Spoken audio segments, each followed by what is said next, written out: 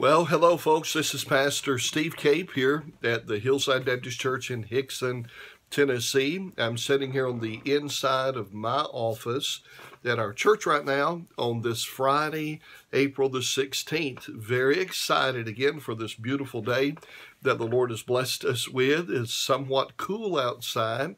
Um, the sun is finally making its way out. It's been back behind the clouds most of the day today, but uh, we're just excited again for the wonderful week that the Lord has blessed us with. The main purpose again of this particular video is to talk to you about tomorrow and this weekend. Our church is hosting our seventh annual Tennessee Valley Youth Rally tomorrow afternoon. That'll take place from 4 o'clock to 6 o'clock, and it will be over uh, shortly after 6. At 6 o'clock, we're going to be eating. We'll have pizza and, and soft drinks and desserts and things like that tomorrow. And uh, But we want you to come and be a part of it. It's a very exciting time uh, that we have here at our church once a year. Uh, last year, we, we, were unable to have it because of COVID. Um, there were several things that we had to cancel, some things that we moved around.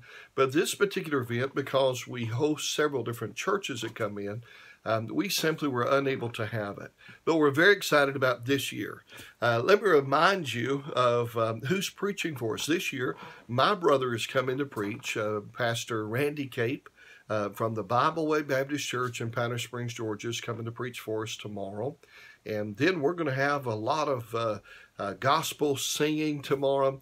Uh, be some fun-filled songs that we're going to have. We will also have uh, some Bible drills and challenges, so make sure you bring your Bible.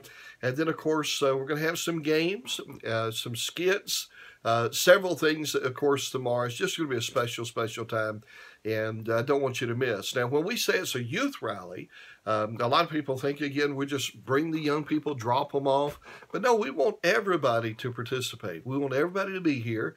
Um, every family, we want moms and dads to come with their, with their children and with their teenager, with their young people.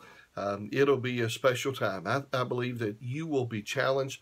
We're praying for God to bring revival tomorrow uh, not to just to have a good time and have some uh, families and young people to be able to gather together, but for God to really work. And so will you join me in prayer about that for tomorrow? So don't miss it. It'll be a special time.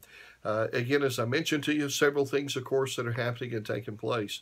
Now, we already know of several churches that are coming. But there are a couple of churches that have contacted us, letting us know that they're unable to come this year. But uh, then we have some others we simply haven't heard from yet.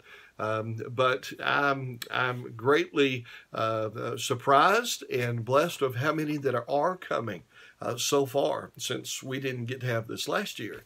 And uh, so looking forward to it. It's going to be a great, great time. But every time we have a special event like this, the first people that I want to make sure that they're here is our own church family. Uh, so don't miss it. Please come be a part of it. Uh, we need a lot of extra help, so adults, you come ready. Roll your sleeves up to help us with uh, multiple things tomorrow. And uh, it's going to be a special time. All right. Well, listen, the Lord bless you folks. Hope you have a great, great day on this Friday. And uh, so don't miss tomorrow. All right. Lord bless you. Take care. Bye bye.